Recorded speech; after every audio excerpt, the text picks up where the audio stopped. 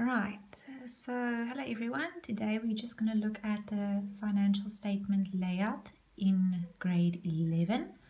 So we are going to start with the income statement. So I want to show you over there, that is the first part of your income statement. You will see that we are going to start with sales minus debtors allowance. Then over there we will minus cost of sales. So the amount over there will always be in a bracket. And then sales minus cost of sales will give you the gross profit. Then over here, we're going to enter all our income, rent income, discount uh, received, uh, fee income, commission income. We'll enter all of them over here. Provision for bad debts adjustment, if it's an income. Everything inside of the block will be added on top.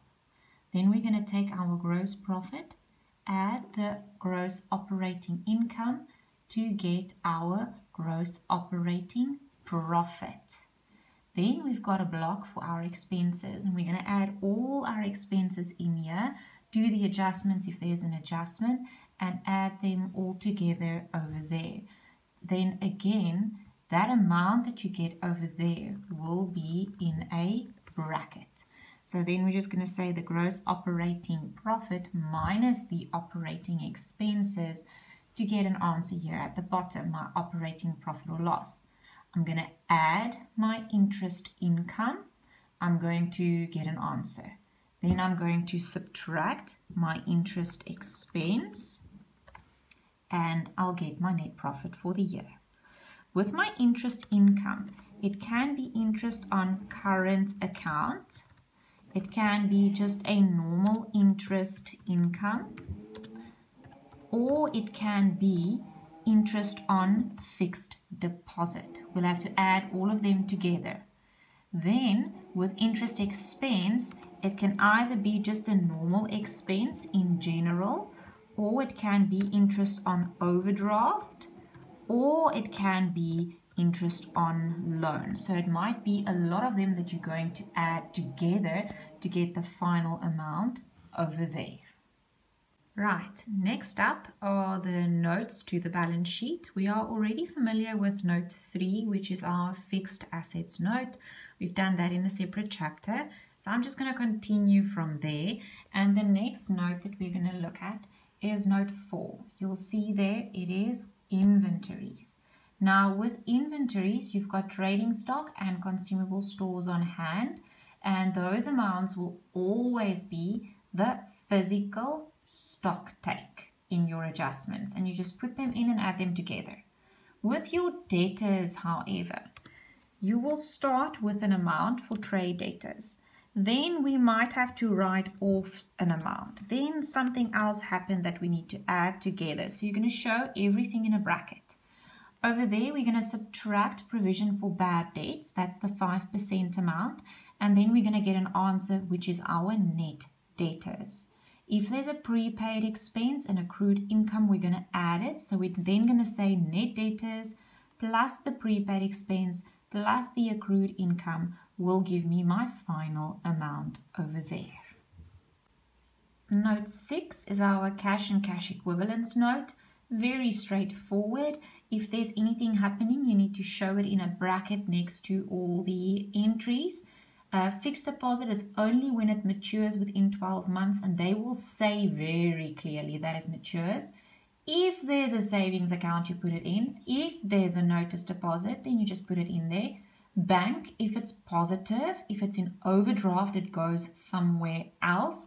And then with bank, same thing. You might have a couple of amounts that you need to either add or subtract over there and you need to show everything in a bracket and then cash float and petty cash and you just add everything together.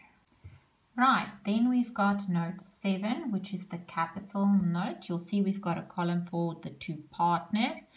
Balance at the beginning of the year. If there's a contribution, you add it. And now something new in grade 11 is they may take some of their capital, which means you'll just put that in a bracket. And then the balance at the beginning plus the addition minus the decrease in capital will give you the balance in the end. You do it for both partners and then you just add up horizontally to get a total over there because that total will go to the balance sheet. Right, so this is the current accounts note. You'll see again, there's a column for each partner. It starts with salaries, you just fill it in. If the partner has a bonus, you fill it in. If there's interest on capital, you fill it in. The easiest account to help you in, um, enter this is the appropriation account. Then basically you're going to add the first three together to get the primary distribution. You need to know that those three are the primary distribution. And this is now why the appropriation account helps because that amount is your final distribution. How are you splitting the profit? Are you splitting it 2 to 1? Are you splitting it 3 to 4? Or according to their contribution? So that's why it's easier to just do the appropriation account first and then fill in the two amounts. Then the primary plus the final will give you the amount according to um, this income statement, the net profit amount. So three amounts, add them together. Fill in the final distribution, get an answer then this amount over here will be the net profit amount from your appropriation account. So after you've done that and you've done that, if you add these two amounts together, you're supposed to get the same answer as in your appropriation account.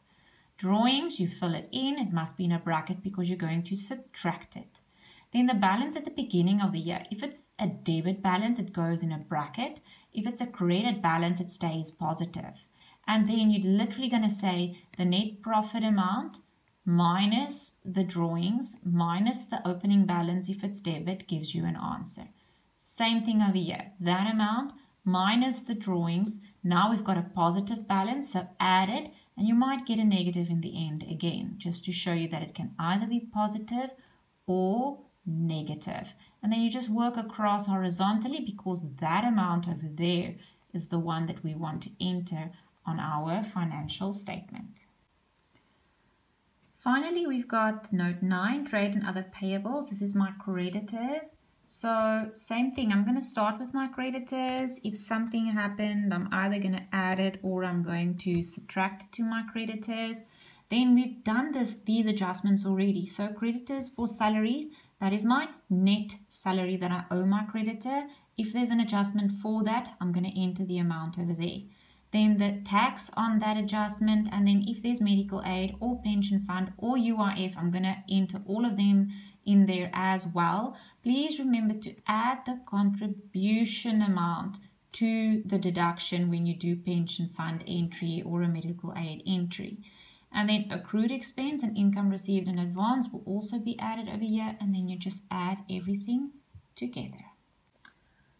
Right, so this is the first part of my balance sheet. This is the assets part. You'll see we've got two sections, the non-current assets and the current assets. Non-current, we've got our fixed assets, which are note 3, land and buildings, vehicles, and equipment. We've got a fixed deposit as our financial asset. Then over here, we've got our notes that I've just covered. We literally just enter the amounts in there from my notes calculation. The only thing that you need to take note is if my fixed deposit is 80,000 and I tell you that 20,000 will mature within the next financial year, then you need to subtract it. So then my fixed deposit will only be 60,000. And then the 20 that I subtracted will go into my cash and cash equivalents. If you go back to the note that I just covered, I had an entry in there for fixed deposit. If it matures within 12 months, that will be my 20,000. And then the golden rule is everything inside a block must be added on top. So then basically my non-current assets over there plus my current assets over there will give me my total assets here at the bottom. And this is the bottom part of the balance sheet, my total equity and liabilities part. It has split into three sections, my owner's equity section, non-current liabilities and current liabilities. So very easy over there. I've done the notes and I just put in the amounts. Everything inside the block must go on top. My loan goes over there. So same thing as with the fixed deposit. If my loan is 80,000 and they tell me that I'm going to pay back 10,000 on the loan within the next year, then I need to subtract it, which means my total loan will only be 70,000.